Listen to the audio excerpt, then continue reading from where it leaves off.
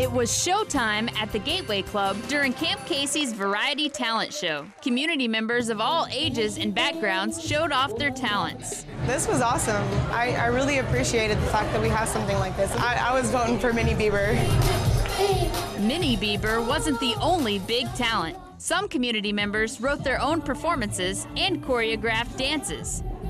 Getting ready for the event may have been a lot of hard work, but the payoff seemed worth it.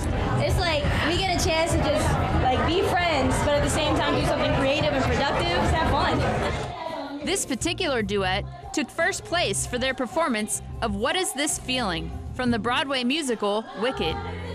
We were just like, hey, let's do this. And they did, winning the $150 grand prize and the affection of their many supporters. Specialist Ali Cooley, Camp Casey, Korea.